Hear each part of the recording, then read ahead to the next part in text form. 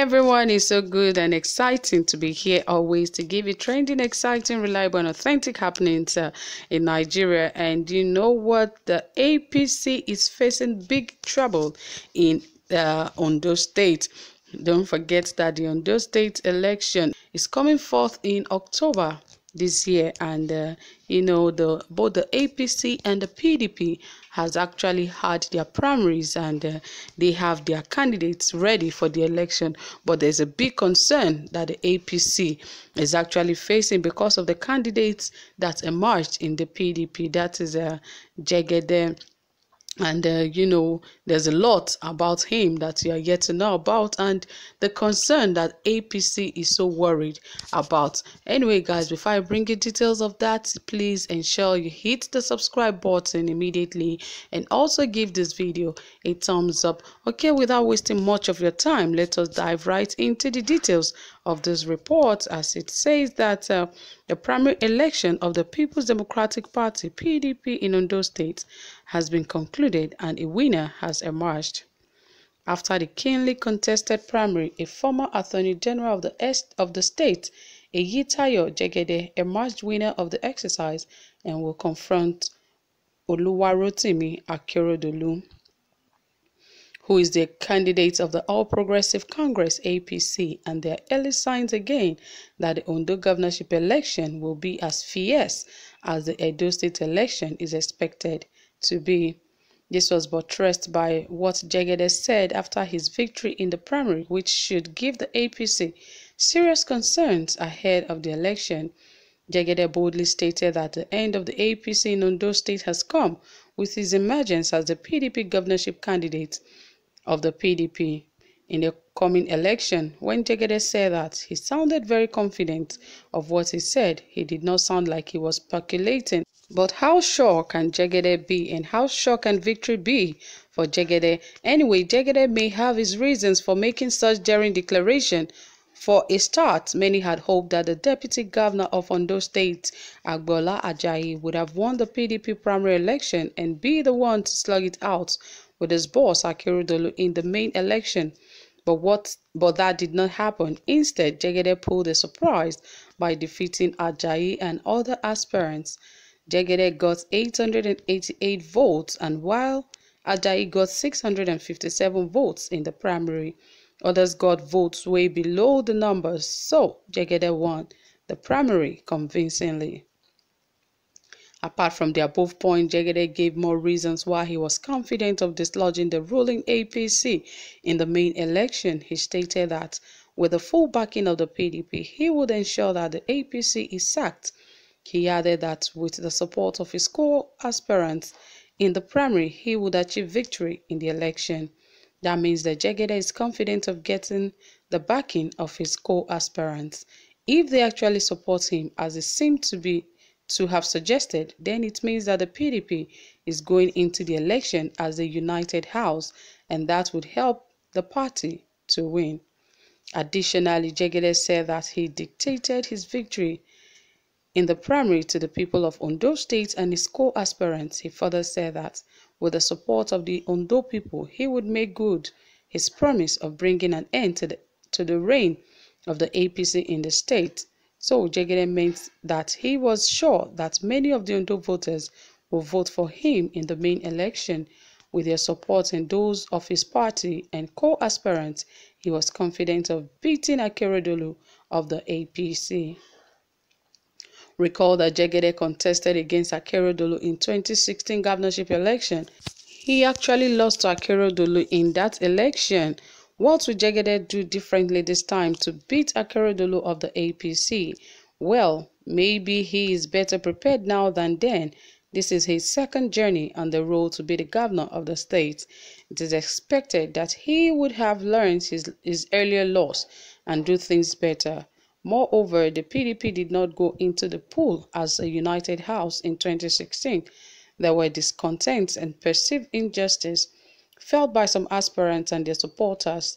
They felt things were not done in a just manner regarding the primary election. Many of the aspirants saw Jegede as the candidate of the of the then governor Olusegun Mimiko, who was favored to emerge the party's candidate. After all, Mimiko was fully in support of Jegede to ensure that he won. Moreover, Jegede was distracted by the lingering court case, which delayed him and his perceived godfather, Mimiko, in Abuja until few days to the election. So they did not have enough time to, to focus on campaigns. But now things appear different. Jegede has enough time and seemed to have emerged in a fair primary that the other aspirant would back him. Will he actually bring an end to the APC reign by defeating Akeredolu in the election this time or the main election on October 10, 2020 will tell as long as it's free and fair. And you know, that is uh, uh, the hope of everyone thinking and hoping that um, election in Nigeria should be free and fair. And you know, Jegede is such a confident man, and uh, he has actually spoken on uh, his journey because, of course, this is not his first time running for the position of uh, a governor. He did it in 2016 and he lost to uh, Rotimi Akeredolu. And, uh, you know, this time around, he has decided to come back again and run with him in the same time. But he said something. He said at that time, he was distracted by so many court cases by his uh, you know godfather that it is quite different from this present moment that you know he's free and very focused and he is very sure that he will bring victory to the people of uh, PDP and to his party. And of course, he said he hopes that the party will back him, not just the party, his co-aspirants that have lost to him in the primary, that they will support him. Because back then in 2016, he lost the prim he lost the election because the party was not together. So it is important for every party. If you want your party to win, your party should not be found wanting when it is time for election. It is not the time for your party to have issues like the APC is having now, but good, they are trying to resolve it every time. But you know, it is always good that the parties tries to you know settle any issues they have before any election because it will affect your candidate so like he was explaining that in 2016 his party lost and his party was not uh, uh, very much concentrating in that in that election because of you know so many things surrounding it the primary process there was so many injustice that some of the aspirants did not see or did not feel uh, comfortable with and it affected the general election. So, but this time around, he's hopeful and he believes that his co-aspirants will support him and the party should also support him. Support him. And you know that uh, Jegede is also uh, a former Attorney General of uh, you know the state uh, on those states back then. And uh, you know he believes so much that he is going to win this uh, Ondo election. And you know it seems uh, because of his confidence uh, the election will begin to get tensed because of course it seems like the Ondo people are very relaxed like there's no election unlike that of the uh, Edo state. Edo state election is full of propaganda. There are so many issues surrounding it. Godfatherism and the likes you know court cases certificate forgeries and all of that all of that but here, right here in Ondo State, we've really not heard anything of such. Not like there are no propagandas, but of course, they can be more gentle, I guess. I guess that's why we don't get much of these issues from that of um, uh, Ondo State. But all the same, like uh, the conclusion of this report says that uh, we hope that this election will be free, fair, and credible. And we hope that uh, elections in Nigeria will begin to be free, fair, and credible because in time past, I think there's hardly a time that Nigeria have ever had a free, fair, and credible election.